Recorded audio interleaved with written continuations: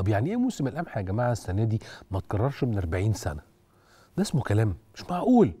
لازم نقول كلام غير ده. لازم نقول إن موسم القمح ده عادي. لازم نقول إنه أقل من العادي عشان بعض الناس تفرح. وايه كلام؟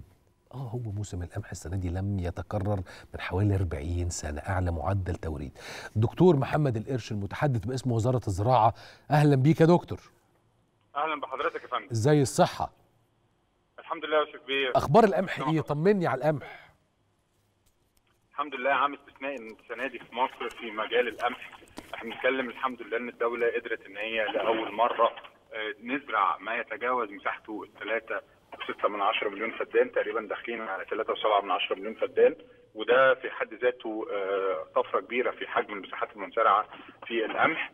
آه، كمان في عندنا زيادة في إنتاجية الفدان وده أمر أيضا آه، في غاية الأهمية. إحنا الحمد لله السنة دي آه، متوسط إنتاجيتنا آه، بيت يعني المتوقع بتاعه إن هو يتجاوز 18 ل 20 اردب وده الحقيقة رقم مميز جدا أو رقم مهم جدا. ده أنا سمعت إن في بعض المناطق هيوصل ل 22 ارداب كمان طبعا وارد إن نتجاوز هذا الرقم. الحقيقة المؤشرات كلها بتبشر بالخير. إحنا. شايفين يعني متوسطات وشفنا ناس بتحصد آه، 25 و27 أرداب الله و28 أرداب فالحقيقة أرقام مهمة جدا.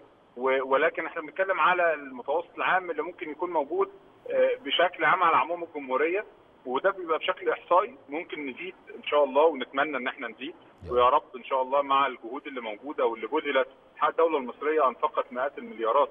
فيما يخص مجال القطاع الزراعة بشكل كامل تطوير الري اشتغلنا عليه زياده مساحات مزارعة اشتغلنا عليها آه، تطوير نظم ال- ال- الزراعة اشتغلنا عليها تطوير وتحديث التقاوي اشتغلنا عليها آه، آه، التواجد مع المزارعين وكثفنا تشجيع المزارعين من خلال تحفيزهم بأسعار مناسبة. الدولة سعرت السنة دي القمح قبل الموسم بزيادة كانت 100 جنيه عن السنة اللي فاتت ثم حافز إضافي 65 جنيه. فالحقيقة الدولة ضخت مئات المليارات لتدعيم آه، القطاع الزراعي وخصوصا آه، موضوع القمح، القمح مهم جدا بيمثل آه، عصب يعني من أعصاب الأمن القومي أو الأمن الغذائي للمواطن المصري فله أولوية مهمة جدا. مفيش مائدة غير وموجود عليها الملح القمح بشكل كامل ومتواجد بأي صورة من الصور فأولوية أولى بالنسبة لنا.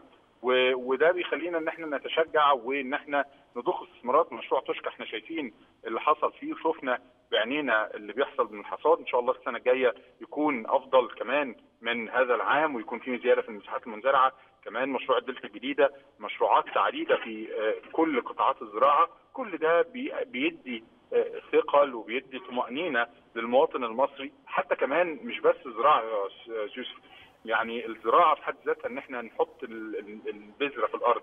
ونحصدها ده خطوة مهمة جدا. لكن كمان سلسلة الإمداد والتوريد اللي بتبقى موجودة ما أنا لما بزود أعداد النقاط اللي بجمع فيها القمح وبزود الصوامع اللي بخزن فيها وبعمله بتقنيات اقلل النسب الهدر فيها وبعمل آه، آه، آه، بدي الفلاحين الفلوس بتاعتهم فورا. وكل الكلام ده دي من سلسلة الإمداد. الدولة كمان استثمرت فيها ما سابتهاش برضه. طبعا طبعا مفيش خلاف. طبعا ده أظن كمان بجانب إنه مركز البحوث الزراعية بيبقى شغال على قدم وساق عشان يطور ال- ال- ال- ال- ال- الفصائل الجديدة بتاعة القمح فتعلي من معدلات الإنتاج. يعني خليني أقول لحضرتك إن في آخر الفترة الأخيرة دي فقط إحنا مطلعين خمس أصناف جديدة من القمح. أو بتقدر تتحمل ظروف مناخية مختلفة وطبعا ده مع توجهنا لمناطق جديدة نزرعها فكان لابد إن إحنا يبقى عندنا مثل هذه التقاوي. أيضا عندنا آه، تقاوي بتدي إنتاج أعلى وشفنا متوسطات بتزيد بشكل كبير جدا. عندنا تقاوي بتدي مقاومة للآفات وده بقى واضح جدا في مقاومة ال ال ال الآفات. كل دي من منظومات التقاوي. كمان إحنا بدأنا نضخ استثمارات كبيرة جدا في إن آه، نشجع الفلاحين على إن هم يشتروا تقاوي آه، طازجه يعني تشتروا التقاوي اللي هي المعتمدة من ال- الإدارة المركزية للتقاوي. إحنا عملنا تخفيض كبير جدا على أسعار التقاوي عشان نشجع الفلاحين إن هم ياخدوها. لأن كمان هي بتدي لهم يعني لما يجيب يقلل من الكسر عنده ويبدأ يشتري التقاوي الجديدة أو يجيب التقاوي الجديدة المعتمدة دي هتدي له لوحدها اثنين أو ثلاثة أرداب بزيادة عن المتوسط الطبيعي اللي هو كان ماشي بيه غير ما يعمل أي مجهود. وبالتالي يكسب كلها أكتر. خطوات ألو؟ وبالتالي يكسب أكتر. وبالتالي يكسب أكتر ويحقق هامش ربح أكبر. طبعا. فكل دي خطوات الحقيقة نفذناها. كمان نظام الزراعة المساطط اللي بدأنا نعممه وبدأنا نشتغل عليه أكبر بشكل أكبر الفترة الأخيرة وده من النظم المهمة جدا اللي من خلاله يقدر يقاوم الظواهر المناخيه المختلفة آه، آه، ويبدأ يقاوم ويبدأ يتحمل ظروف الإجهاد أكتر ويبدأ يدي إنتاج أكتر أيضا للفلاح فالحقيقة الدولة في كل مراحل وفي كل آه، ما يخص قطاع الزراعة الدولة مدت إيديها واشتغلت وبتحاول تساعد الفلاح وبتحاول تقدم كل ما لديها من إمكانيات للفلاح المصري ولدعم الفلاح المصري ولتصوير إنتاجية الفلاح المصري وإن شاء الله ربنا أكيد هيكلل تعبنا بالخير. وإن شاء الله مع استدامة هذه الجهود إن شاء الله نصل إلى نسب أكبر من الاكتفاء الذاتي ونكون يعني قادرين إن إحنا نلبي احتياجات المواطن. بإذن الله أنا بشكرك جدا جدا يا دكتور محمد كل الشكر دكتور محمد القرش المتحدث باسم وزارة الزراعة